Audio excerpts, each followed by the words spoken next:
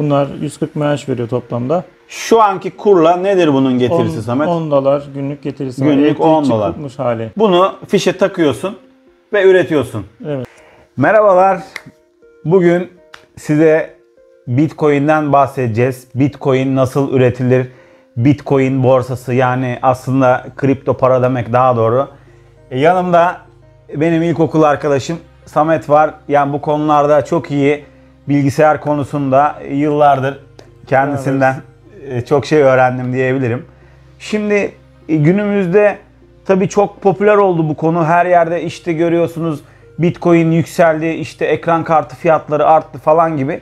Bununla ilgili bir video çekmek istedim. Hazır e, Samet de varken yani Samet konuya hakimken e, bilen birisiyle bir video çekmek istedim. Aslında birçok kişi de bana soruyordu yani Bitcoin nedir? Hani sürekli haberlerde gündemde olduğu için bu konuyu bugün size aktaracağız. Öncelikle Bitcoin nedir? Kripto para nedir? Bunlardan bahsedeceğiz.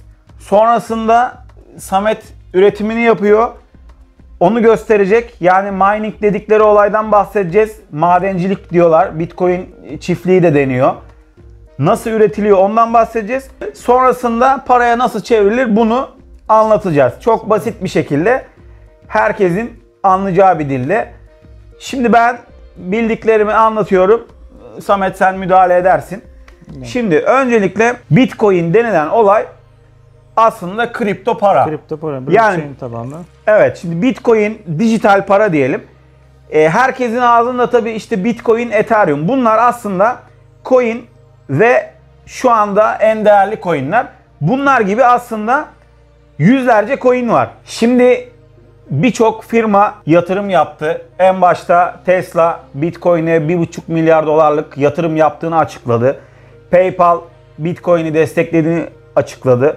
Yurt dışında bir sürü bankaların ATM'lerinden çekildiğini biliyorum. Yani Evet. bank ATM'den direkt Bitcoin olarak çekebiliyorsunuz. Bu konu neden böyle popüler oldu? Aslında Bitcoin tamamen borsa gibi. Yani bunu borsa, dolar, işte altın gibi düşünebilirsiniz. Bu da tabii ki onlar gibi yükseliyor ve düşüyor. Son dönemde bu kadar popüler olmasının sebebi aslında bir anda değerlenmesiydi. Yani Kaç üretim, üretim sayısı çoğaldı. Üreten kişi çoğaldı. evet Herkes- değerlendiği için herkes üretmeye Herkes başladı. üretmeye başladı. Herkes kullanmaya başladı.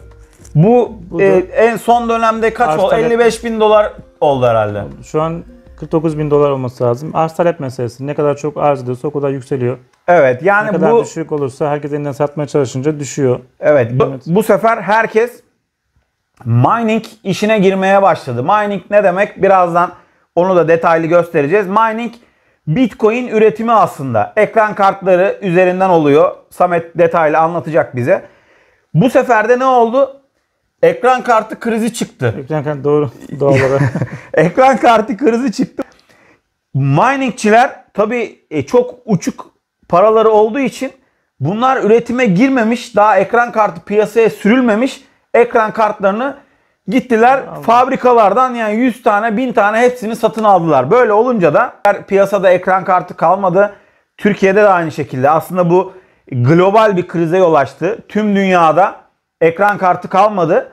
Yani ben bile 5 yıllık ekran kartımı 1000 lira falan ederdi herhalde. İşte o. 4000 liraya sattım. Yani son dönemde bu muhabbetin kripto para diyelim artık kripto paranın ne olduğunu biliyorsunuz. Bitcoin'in ne olduğunu biliyorsunuz. Kripto paraların popüler olması bu yüzden. Değeri arttı ve birçok krize yol açtı. Ethereum ne kadar şu anda Samet? 1500 dolar. 1500 dolar civarı. O Ee, dediğim gibi listeyi şu an güncel listeyi tam bilmiyorum. Onu da göstereceğiz ama en üstte Bitcoin. Onun bir altında Ethereum olduğunu biliyorum. Daha altcoin'lerden Raven coin var, Lidl coin var. evet Ethereum Classic var. Dogecoin var. Dogecoin'i de yine e, Elon Musk tweet attı. Dogecoin çok güzel uçacak falan diye. Bu sefer o da Fırladı gitti. fırladı, uçtu gitti. Bu işin yani riski demeyelim de ani yükselip ani çıkabiliyor. evet. Yani balina yatırımcı diyorlar. E, Çok büyük parası olanlar, çok büyük coinleri olanlar bir anda sattığı zaman bu sefer insanlar acaba bir şey mi oldu, çökecek mi, gidecek mi diye Değeri düşüyor tabii. evet bu sefer değeri düşüyor. Dediğim gibi borsa tabanlı bir işlem bu sonuçta. Evet tamamen Tamamen borsa yani evet şey. borsa nasıl yükselip nasıl düşüyorsa diğer yatırım araçları nasıl yükselip nasıl düşüyorsa bu da aynı şekilde kripto para dediğimiz olay dijital para gelecekte bütün ödemelerin bununla yapılacağı düşünülüyor. Bu arada Turkcell de Bitcoin alış satış yapacağını duyurmuştu. Evet. yani Turkcell kendi uygulaması üzerinden sanırım Bitcoin'i alıp satabileceksiniz. Ülkemizde de BTC Türk var. Değil mi? Ne var başka? Paribu var. Paribu var. Farklı borsalar var. Buradan cüzdan oluşturup ürettiğin Ethereum'u TL'ye çevirebiliyorsun. Evet şimdi insanlar neden Ethereum'a odaklandı ondan da bahsedelim. Bilgisayarınız, ekran kartlarınız bir hesaplama yapıyor. Onun üzerinden aslında limitli olan yani bir maden gibi. Hani bir yerde bir maden rezervi olur ya onun gibi şu anda Bitcoin'de bitti. Şu an sadece üretimi yok değil mi? Alır satış işlemleri. Evet şu an sadece Bitcoin borsası var. Yani alıp satabiliyorsunuz. Üretme işi bitti. O yüzden herkes Ethereum'a odaklandı ve altcoin'lere değil mi? Evet altcoin'ler. Ethereum oluşturup Bitcoin'e çevirebiliyorsun daha sonradan da. İstersen Bitcoin olarak elinde kalabilir. Ya şey gibi aslında. bozduk, yani doları bozduk. euroya çevirmek gibi, Gibi. bir şey. Evet, evet, onun- Ya da işte paranla TL ile ya da dolarla Bitcoin ya da altcoin'lerden satın alabiliyorsun. Tabii. Zaten bu işte borsadaki yaptığın işlemler ekran kartı yaptıktan sonraki oluşan ödülü ekran kartı üretiminin oranından sana hediye ediyor. Bu kazanılan o mu yani? Tabii kazanan demek o. Borsalardaki milyonlarca alış satış işlemini yaparken ekran kartları o işlemi yapıyor. Bunun sonucu bir ödül ortaya çıkıyor. Bu ödülü de kullanıcılara paylaştırıyor sistem. Aslında oradan e, gelen bir komisyonu mu paylaştırıyor? Evet. O şey son blockchain sonucu çıkan ödülü ona ödül deniyor. İşte kullanıcılara paylaştırıyor. Hmm, yani Ki bu- mining yaparak bunu Evet. kazanıyorsun Evet, aslında. mining yapar bunu kazan. Bu e, çıkan ödül de çok zorlaştı. Çünkü milyonlarca kullanıcı aynı işlemi yapmaya çalışırken sonuçta ne, bir ödül var ama bunu paylaşmak isteyen kişi sayısı çoğaldıkça e, ister istemez ödül de Ödül azalıyor. azaldı. Tabii ödül azaldı. Eskiden 4 GB'lık ekran kartları Yetiyor. yeterli oluyordu Yeter. herhalde. Dark Skies denen bir olay var. O artık 4 GB'lık ekran kartları kullanılmıyor. Ethereum'da kullanılmıyor. Diğer altcoin'lerde kullanabiliyorsun. Hmm, Ama şu an Ethereum popüler Ethereum olduğu için Popüler olduğu için evet. Getirisi daha çok diğer şeylere göre. evet altcoin'lere altcoin'lere göre. daha çok yüksek olduğu için genelde e, 6 GB'da 8 GB'lık ekran kartları kullanıyor. Evet o yüzden Herkes. zaten e, O 8 yüzden ve 8 GB fiyatları arttı. Uçta gitti yani. Evet Ether, Ether'e 700 milyon 700 liraydı. yani bir yıla kalmasının 750 bin lira civarı ekran kartları 4500 bin liraya satıldı. Evet yani Sen 4-5 de o- katına. Sen Evet ben de Sen de bir tanesini sattım. ekran kartları fiyatları o kadar yükseldi ki artık çoğu firma tek başına ekran kartı satmaz hale geldi. Evet. Tek başına ekran kartı satmıyorlar. E, ama zaten bu işlerle uğraşan insanlar da para olduğu için sistem toplayıp yine almaya başladılar. O halde bile bulamıyorsunuz. Şu anda e, ekran kartı piyasasında çok büyük kriz var. Bu Ethereum da 2021'de mi bitiyor diyorsun Ethereum sen? 2.0 prosedürü işlence işleme konacak ama Şu anki Ethereum'da bitecek herhalde değil mi? Yenisi çıkacak Bitcoin, diyorlar. Bitcoin gibi o da artık e, belli bunlar üretime başlarken ya belli kaynak bitiyor aslında. bitiyor. Oh, evet kaynak bitiyor yani. Bir şeyden daha bahsetmek istiyorum. Şimdi bu altcoin'ler nasıl oluşuyor derseniz şu an adı tam aklıma gelmedi ama SOC diye hatırlıyorum. Bu SOC'ler yani bir coin nasıl oluşturuluyor derseniz e, belli bir kullanıcılar giriyor bu SOC sisteminden işte kendi kimlik bilgilerini arkadaşım yapıyordu oradan biliyorum. E, hepsini gönderiyorlar oraya.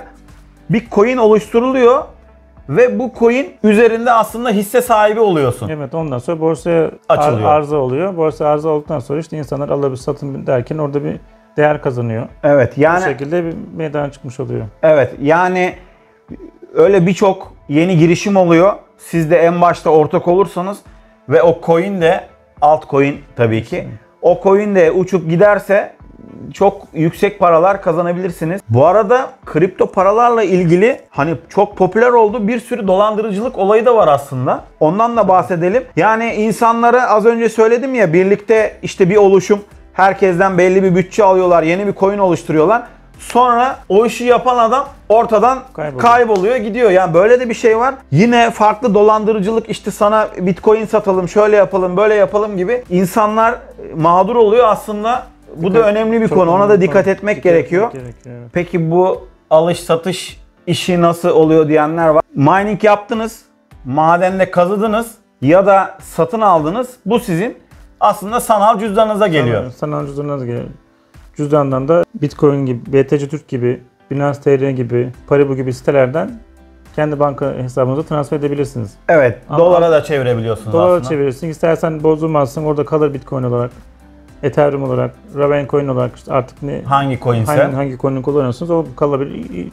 İ- iki gün sonra değeri yükselir. Doğru Hatta- yükselebilir. Bozdurabilirsiniz. İlla hemen bozulmak da icap etmez. Evet, aslında Ama onun temel cüzdan. Senin ürettiğin Bitcoin'ler temelde cüzdana geliyor. evet yani aslında bunun şey diyorlar. Ya işte yarın bir gün şöyle olur mu böyle olur mu? Aynen. Ama. Cüzdan aslında telefonda da öyle. Şu an banka hesabını açıyorsun.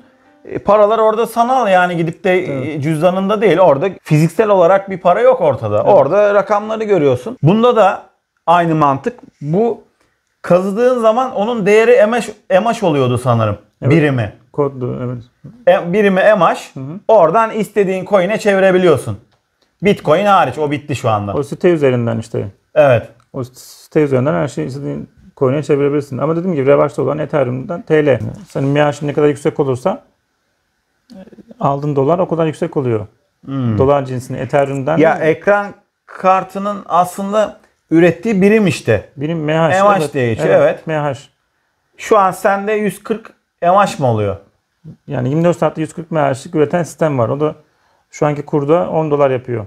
Daha önce sen ilk kurduğun zaman ne kadardı? 20 dolardı. E, 20 dolardı. Tabii ki ne dedik? Bu borsa dedik düştüğü için. Doğrusu, Şu tabii. an 10 dolar Tabii 10 dolar civarı şu 10 an. dolara düştü kazancın. Düştü. Ama yarın 30 Yüksel- dolara çıkmayacağını kimse bilemez. Bilemez.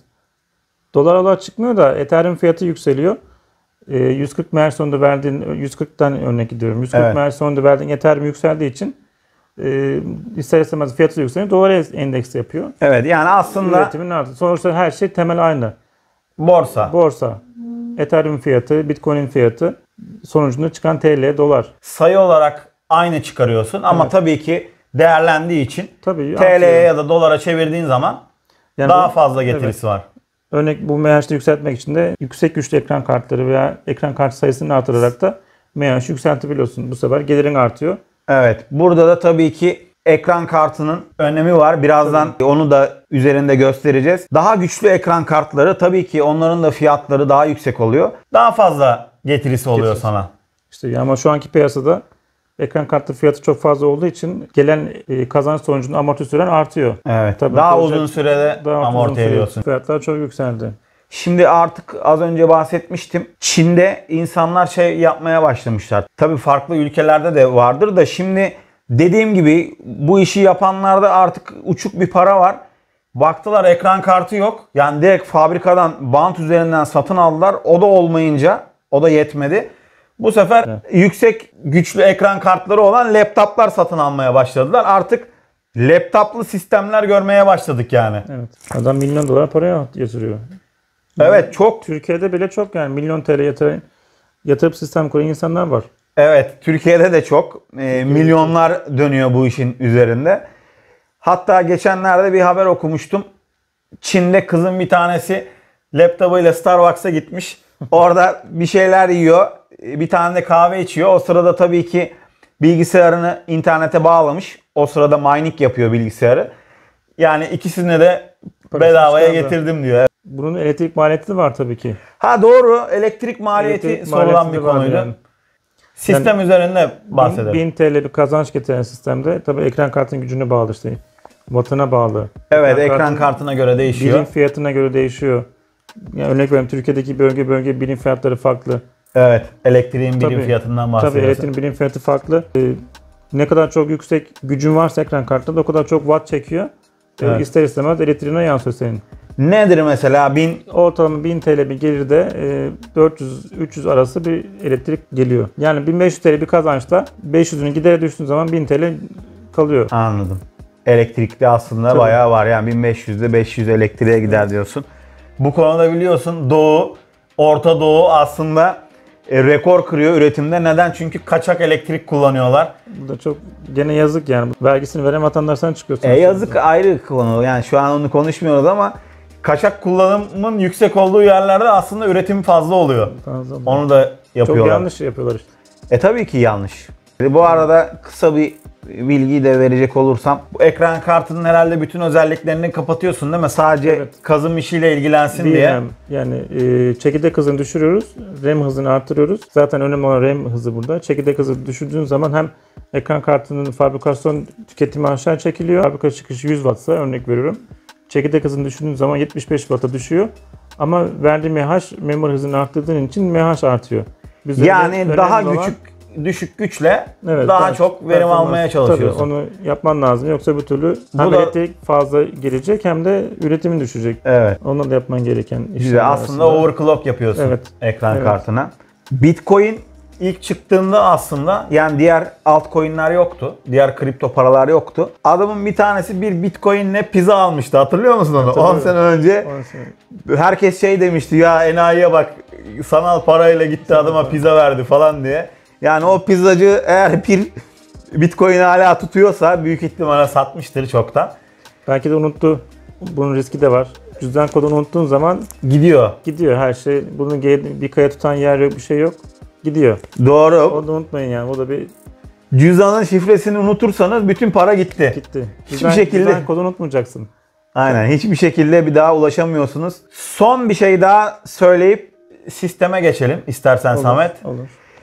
50 Cent de yine yıllar önce bir albümünü Bitcoin üzerinden de sattı. Yani dedi ki ben Bitcoin de kabul ediyorum. O zamanın artık kuru neyse.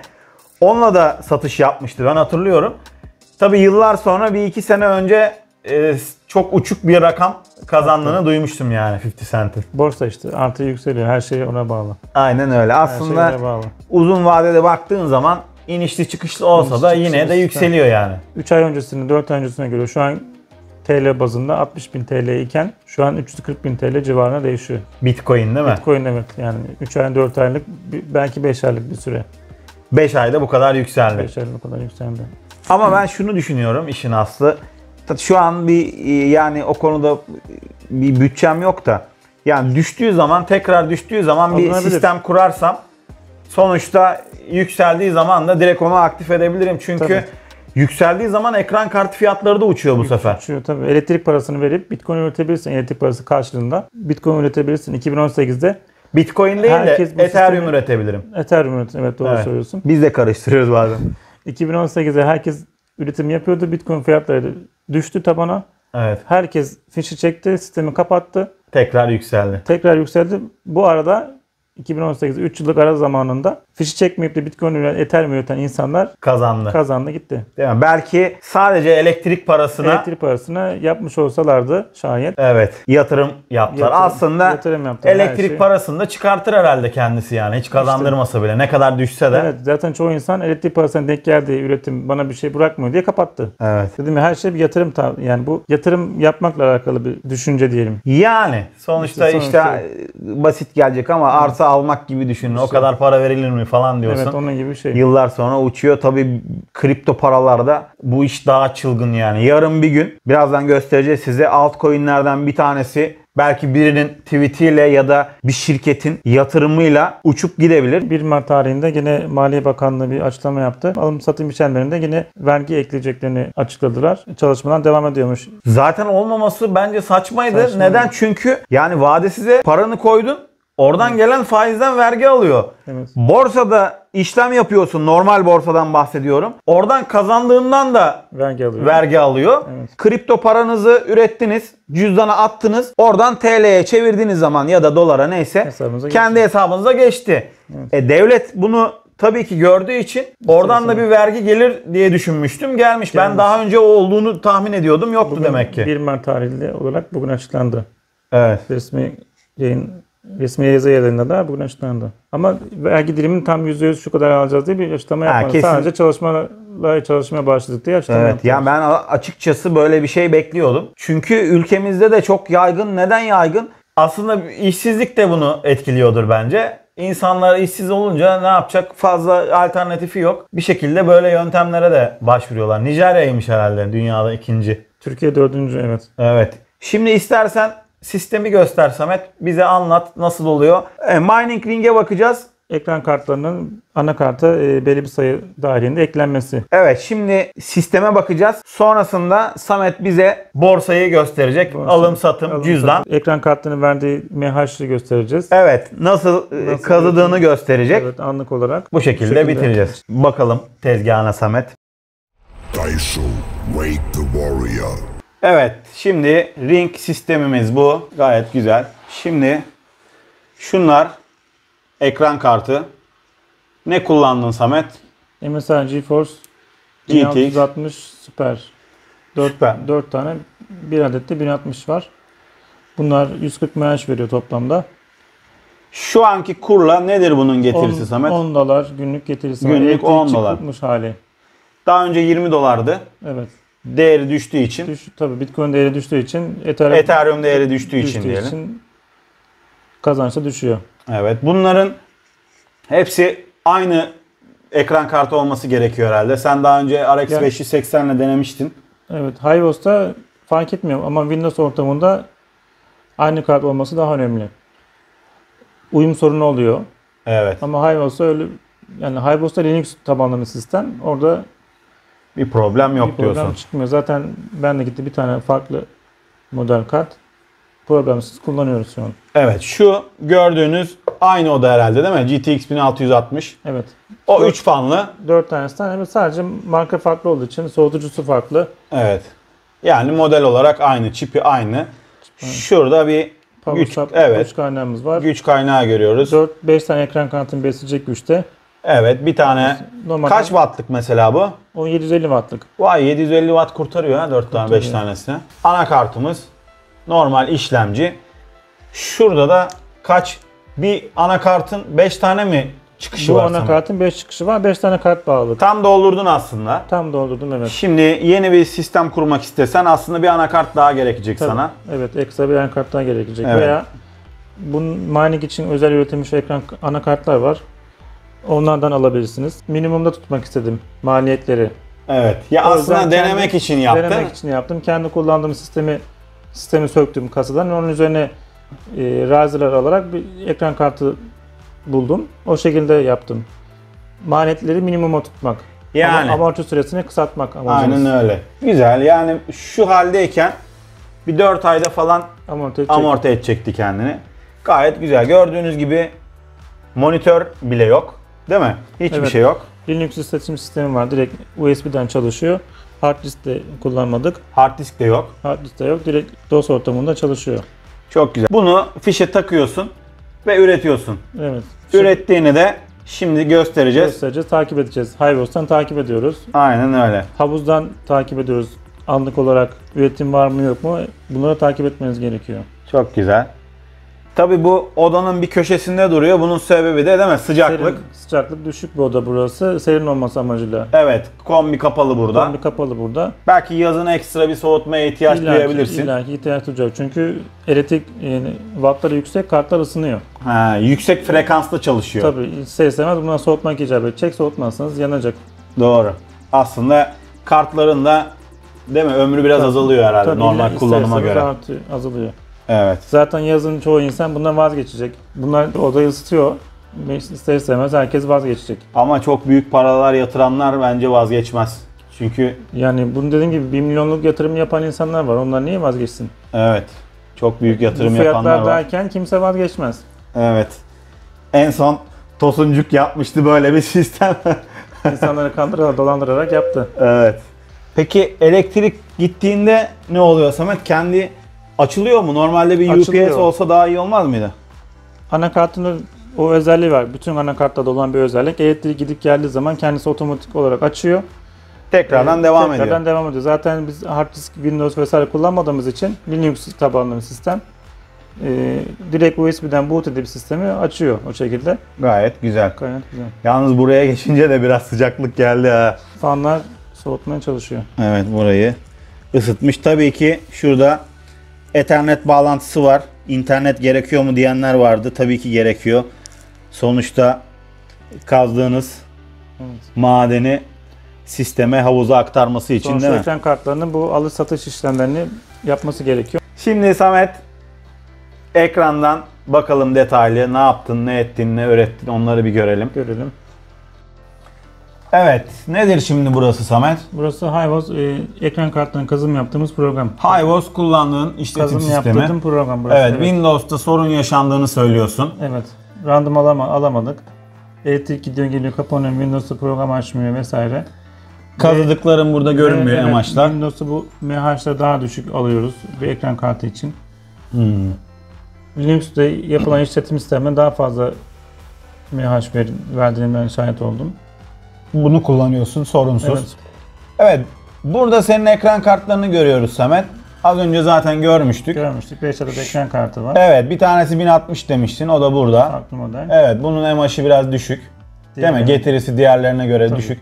O burada sıcaklıklarını bile gösteriyor aslında. Sıcaklıkları, fanın ek dönüş hızı, yan tarafta fan dönüş hızı var.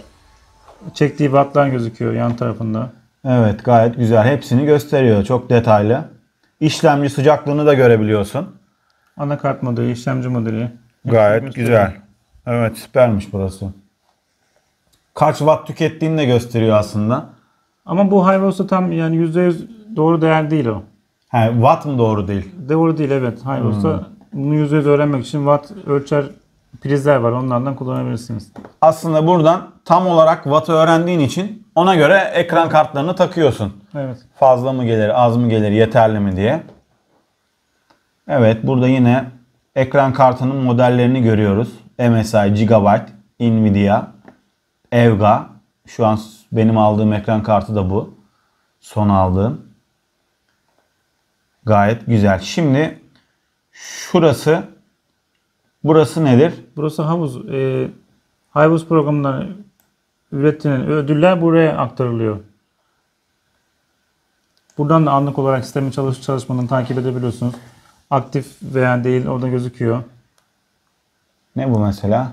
Geçerli MH. Ha bu toplam Or- ortalaması şu mesela. Evet, Anlık MH. ortalaması bu. evet Bana rapor edilen de 142 diyor. Aa güzel. Gayet güzel. Şimdi şuradan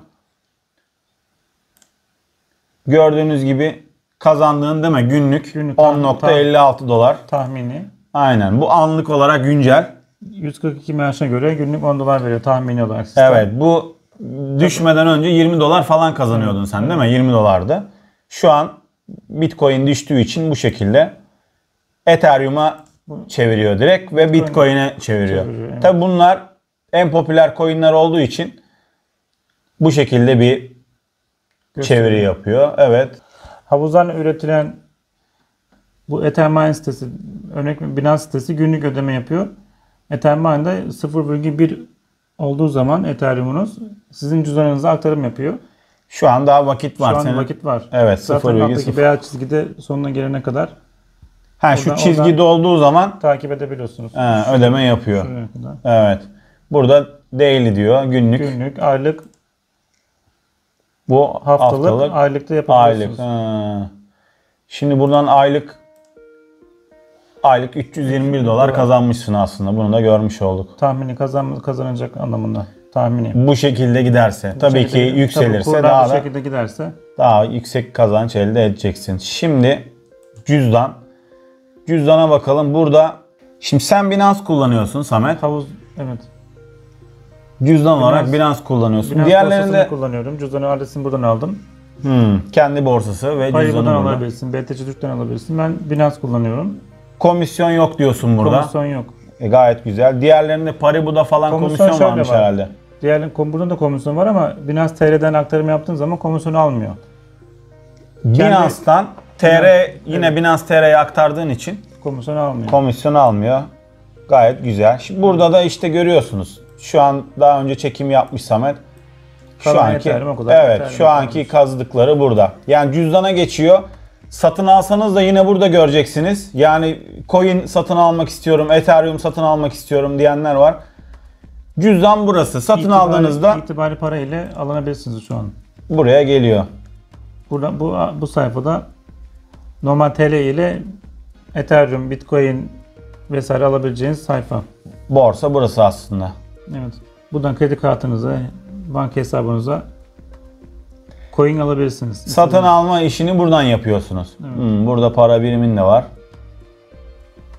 Evet güzel ama sen üretici olduğun için için. senin ekranın burası. Cüzdan adresimi buradan aldım. Hmm, güzel. Paribu'da sorunlar olduğunu söylüyorlar. İşte çöküyor falan diyorlar. Birkaç haber gördüm onunla ilgili ama hatta videolar gördüm. Röportajlar falan. Bilmiyorsun. Şimdi az önce anlatmıştık. Dedik ki şu da senin cüzdanın. Bunun üzerinden sana direkt ödeme gelebiliyor aslında. Evet buradan ben Ethereum kazdığım için Ethereum cüzdanı yapacağız. Aktifleştirelim. evet. Aktif edeceğiz. Burası benim cüzdan kodum. Senin hesabın bu. Benim Bunu hesabım unutursan Gitti. bütün para gidiyor. Gitti. Zaten Kurtarma şansın yok. Hayvos'a bir cüzdan kodunu girerek işlem yaptığımız için Buradan buradan kazandıkların direkt cüzdana geçiyor. evet. Evet çok güzel. Şimdi genel borsaya da bakalım. Bakın coin360.com gayet güzel. Burada anlık gösteriyor. Altcoin'ler demiştik. En büyüğü Bitcoin, sonrası Ethereum demiştik. Diğerleri de gördüğünüz gibi burada irili ufaklı binlerce altcoin var. Yani belki küçük küçücük bir coin'e birkaç sent bir coin'e yatırım yapıp Nokta gibi görüyorsunuz. evet Nokta çok gibi. ufaklar Çok ufak. bir anda parlayabilir. Belki de zengin olabilirsiniz yani. Binlercesi var. Bakın az önce 9 küsürlerdeydi. Şu an 8.94'e düştü. Güzel, gayet görsel. Şöyle yükselişte olanlar gördüğünüz gibi yeşilde. Hatta koyu yeşil. Değil mi? Diğerleri açık yeşil ve düşenleri kırmızı olarak işaretlemiş. Gayet güzel. Yani belki buradan kendinize ufak bir yatırımlık coin seçebilirsiniz. Buradan e, coin'i seçiyorsunuz, satın alıyorsunuz. O sizin cüzdanınıza geçiyor. Evet. Sonra değerlendiği zaman yine Binance üzerinden aslında Alım satabilirsiniz. Gayet güzel. Evet bugünlük bu kadardı. Size elimizden geldiğince işte Bitcoin'den, kripto paralardan. Bahsettik. Samet'in sistemi gösterdik. Gösterdik. İnşallah ileride daha büyük bir çiftlik İnşallah. kurarsın Samet. İnşallah bu fiyatlardan giden devam edersek Değil mi? Arttırabilirsin. Devam- Sonuçta arttırabiliriz 4 ayda kendini amorti edecekse 4 ay sonra belki ekran kartları da düşer. Düş- Üretim tabii, artacağı için Üretim artacağı için fiyatlar. tekrar bir sistem kurabilirsin. Samet sana da çok teşekkür ben ediyorum. teşekkür ederim. Sana bilgilendirdim. Sana e, bol şans, güzel bir yatırım. Yani basit rakamlarla e, iyi yerlere gelme ihtimali var yani. Bakalım. Bugünlük bu kadar. Kendinize iyi bakın. Hoşçakalın. Hoşçakalın.